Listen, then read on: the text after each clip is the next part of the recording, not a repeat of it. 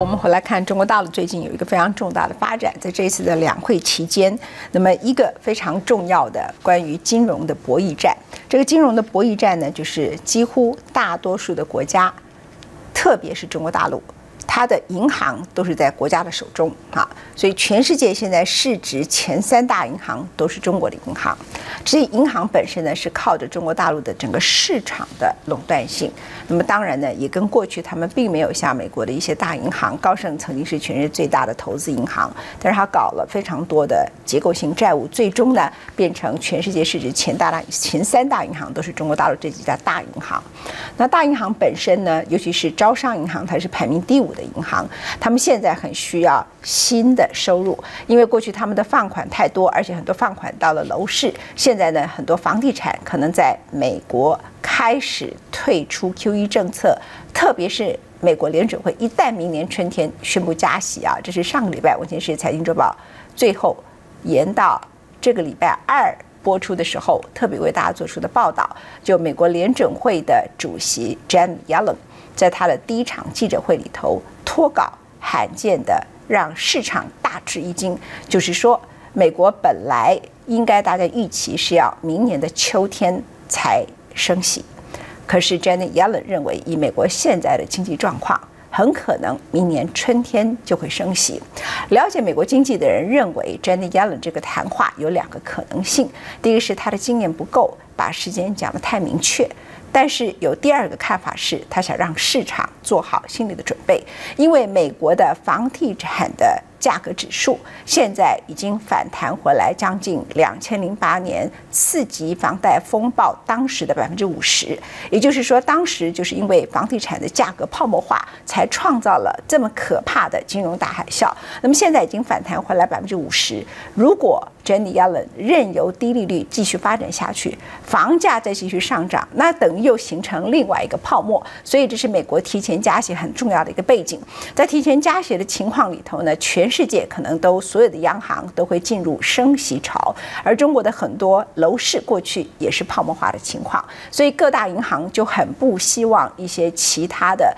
金融银行的这个项目呢完呃是由网络所垄断。那么过去呢也这一段时间发展非常快的，像阿里巴巴这些属于年轻人所创业的产业，他们不只是淘宝网。不只是变成物流的产业，不只是购物网，他们还进行了叫做余额宝。这余额宝呢，就是说我可以在网络里头进行理财，在网络里头进行理财的数目有多少？你可能很难想象。到今年二月底呢，用户有八千一百万人，资金规模是五千亿的人民币，它成为全球第七大基金。那么因此呢，相当多的保守的或是原来是垄断性的，在官方里头有很大发言权的这几家大银行，都要求人民银行行长周小川，就等于是大陆的央行行长出来管理这件事情，这是不可以的，这金融风险非常高。没有想到，在两会期间的时候，周小川定调，金融嘛，应该容许一点点创新的空间。只是对于所谓的虚拟信用卡，他们认为风险太大，喊停。这也是等于说，中国大陆某一个程度希望让年轻人在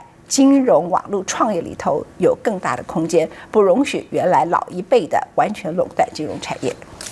中国政协一场大陆全国两会期间的记者会上，不知是不是刻意的安排。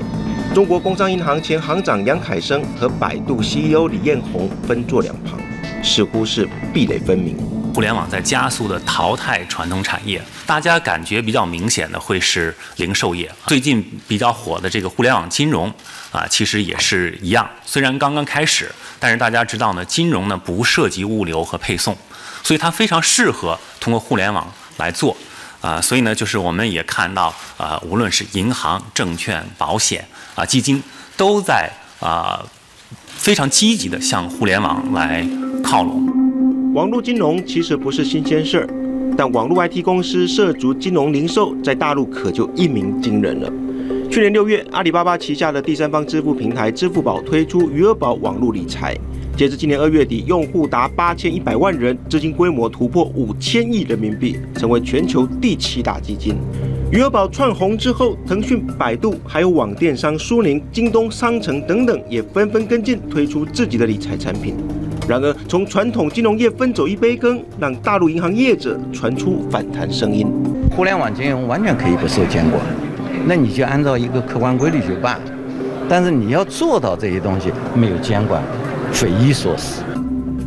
监管问题还是其次，余额宝真正让银行业痛恨的是它的盈利模式，将募集来的资金以大额协议存款方式存进银行，然后从银行获取较高的利息。去年中和今年初爆发的钱荒，银行间拆借利率居高不下，一度飙到百分之十三，余额宝大赚一笔。这抢走银行存款还趴在银行上吸血的回报率，才是让银行业恨得牙痒痒的地方。过去没有呃关于这方面的这个严，就是严密的政策，所以有些政策可能是，呃需要，呃需要更完善一些，是吧？哎，不会有什么取缔吧？有人说余额宝根本是非法吸金且毫无监管。两会召开期间，在媒体的围追堵截下，大陆人行行长周小川终于对惹出争议的余额宝做出表态。总的来讲呢，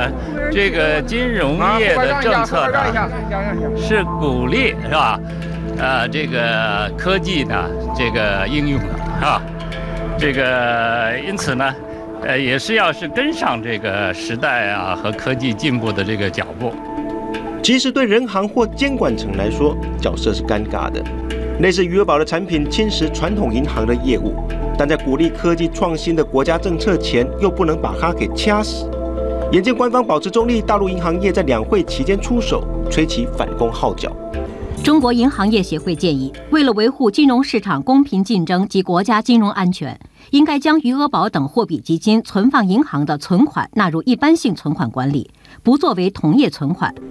至少有三家国有银行本月起不再和余额宝的资金进行大额存款的利息溢价，双方阵营开杠吵得不可开交之际，大陆银监会跳了出来，宣布演绎许久的民营银行正式展开试点。现在我们选择了一些呃民营资本共同参加第一批五家银行的这个试点工作，呃，他们将分别在天津。上海、浙江和广东，呃，开展试点，包括阿里巴巴和腾讯等共十家企业获得设立民营银行的许可，正式打破大陆银行业垄断格局。有分析认为，未来类似余额宝的产品将顺理成章纳入一般存款管理，回报率可能就没有之前百分之四到百分之六那么高，降低了对传统银行业的冲击。但传统银行业反扑的缓兵之计，似乎无法抵挡来势汹汹的网络金融。以阿里巴巴或腾讯累积的用户，加上较成熟的网络科技，差异化的网络银行经营模式，势必带来新一波的金融产业革命。